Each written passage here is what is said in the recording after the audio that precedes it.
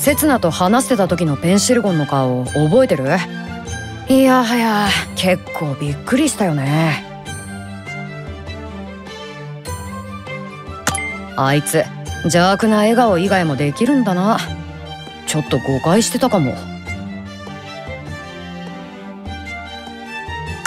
俺はそうは思わないな。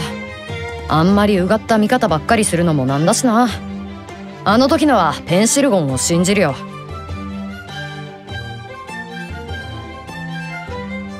まあ下道なだけじゃないから俺たちもつるんでるんだろうな。ちょっとだけ見る目が変わったかも。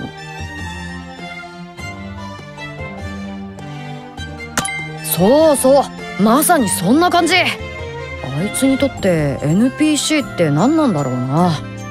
ちょっとわからなくなってきたよ。